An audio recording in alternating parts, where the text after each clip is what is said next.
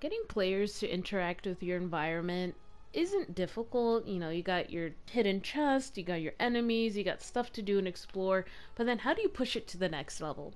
Well, in the newest Lightfall campaign and Destiny 2, the game designers really pushed that limit aside from just the usual stuff. What else can we do with the environment to really make it more interactable?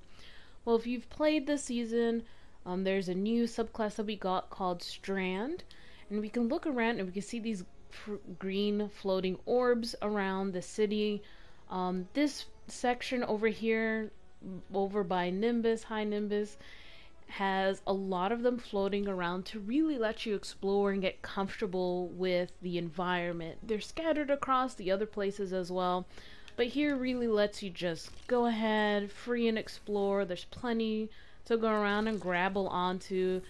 Now, it can be a little disorienting at some points just because there's so many everywhere, and previously we used to have to be careful of um, environmental death damage if we ran into something too hard that would kill us. Now they disabled it, which is great, especially considering the amount of times that I personally and others have. Um, I'm stuck. I'm stuck. Okay, well, here's a fun thing, right? How do you get yourself out of these situations? Uh, thank you, Strand, for making it where you don't get stuck. um, as you can see, it is very helpful. It's been one of my favorite new subclasses. And it doesn't take too long to charge up. We can see it here, we can see it over there.